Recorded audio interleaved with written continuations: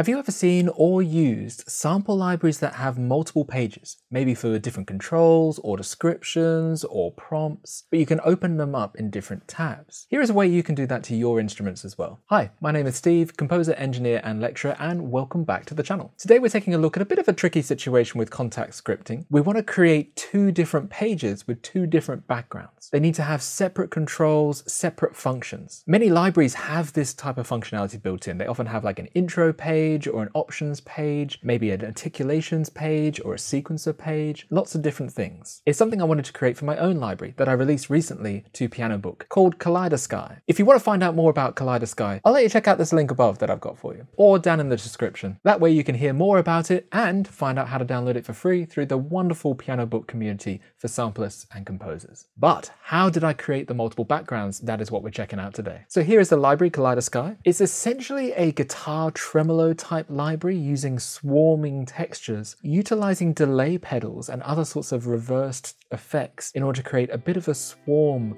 of sound. Here's what it sounds like.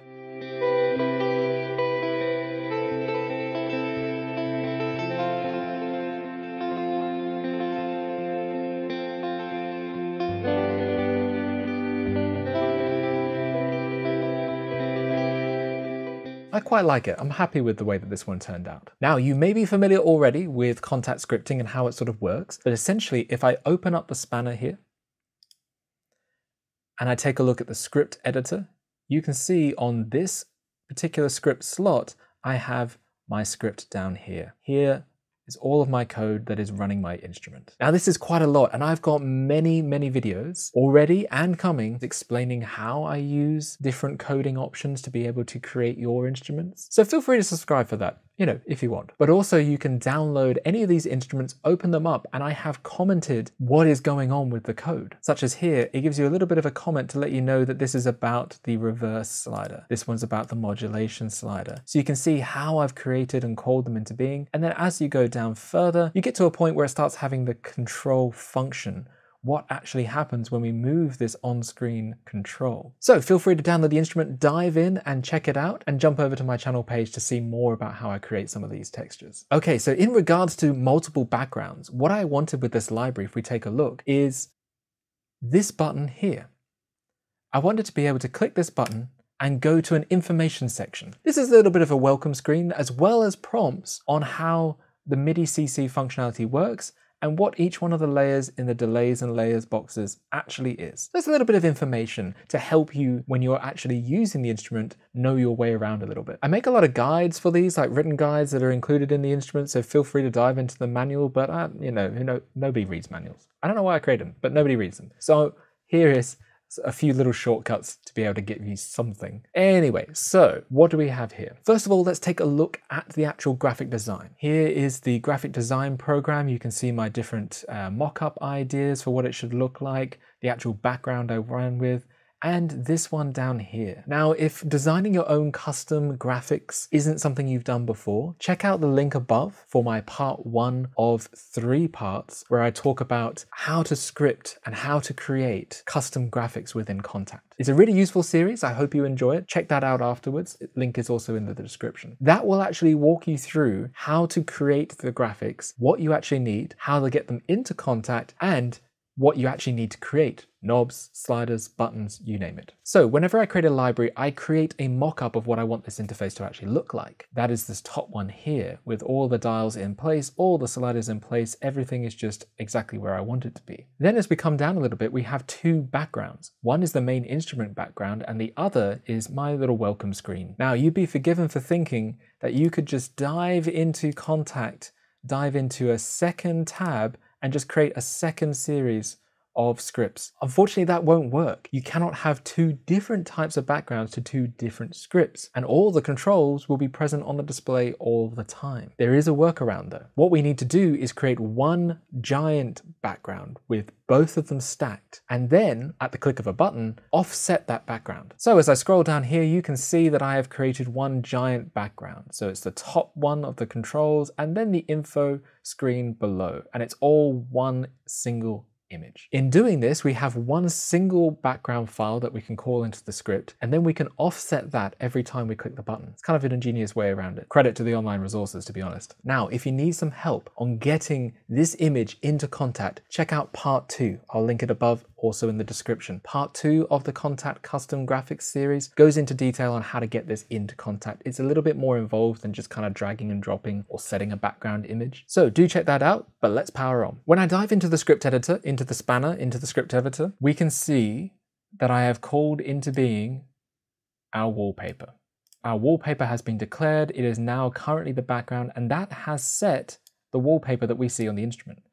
Now, we can only see the top part. And that is because the height of this interface is still only 592. It's actually 660 when you take into account the header at the top here, which is 68 pixels. Anyway, once we have that background in there, now what we need to do is call a button, and that button will be the way that we toggle where the background is positioned, how much it's offset by. That's this button at the top here, and you can see as I hover over it, I've created a cool little graphic so that as you hover and click, it does something a little bit different. Again, check out that custom Kontakt series if you want to find out more about how to create that. It's quite a cool feature. So in the code, you can see down here the info switch section. This section is declaring the variable, which is the button, then attaching the image to that. All that stuff is covered in the other tutorials, but pause the screen here if you want to make any notes. All right, let's now move on to the actual functionality of it. Okay, so on UI underscore control, that is the callback that allows something something to happen, a function of sorts to happen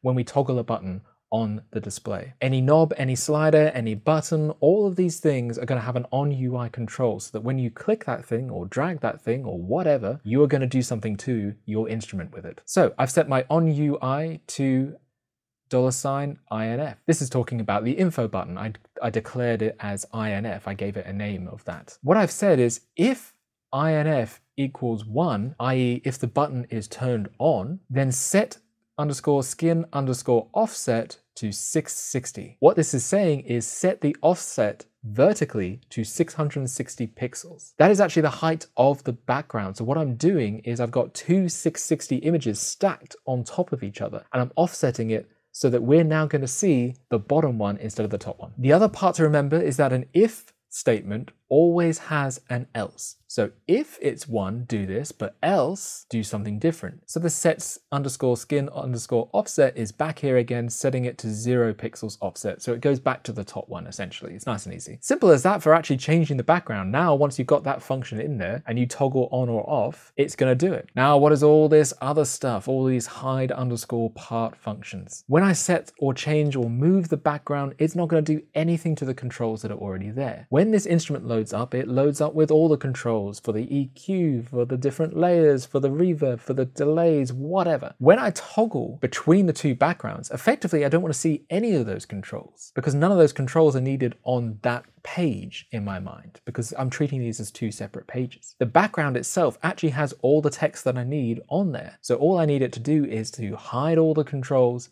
and offset the background so that I can read the text. And then when I click the button again, I want all the controls to come back and the original UI to be displayed. So I use the hide underscore part. Now in the first one, when we're offsetting the background and we're wanting to hide the item, I set each of my controls.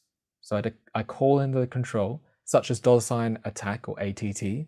So the attack control for dollar sign hide underscore whole underscore control. There's a little comma separating those as well. All of that in brackets means that now what it's going to do is it's going to take that control and it's going to hide the whole thing. And I have done that, you can obviously see, for all of the different controls. Every single slider, every single knob that is on this screen has been hidden when that button is pressed, except for the button. We still need that. And then you may have guessed it, of course, but on the else, we need to unhide everything. It's the same function, hide underscore part, but this time we're saying hide part nothing. So you don't hide anything, basically saying reveal this. Of course, we need to do an end if and an end on. So they are both there to end the if statement and end the on UI control. And once that's done, we just click apply and jump back to our instrument and see the magic unfold. We click this button and there it is.